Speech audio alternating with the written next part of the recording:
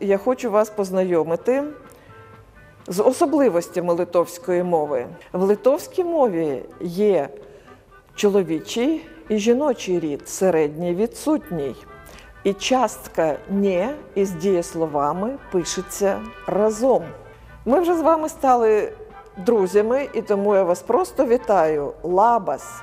Зараз ми дізнаємося, що багато знань не буває. Литовською це звучить так: даук, жіню, небуна. Ми бачимо приклад, коли дієслово із часткою «не» пишеться разом. Це особливість литовської мови.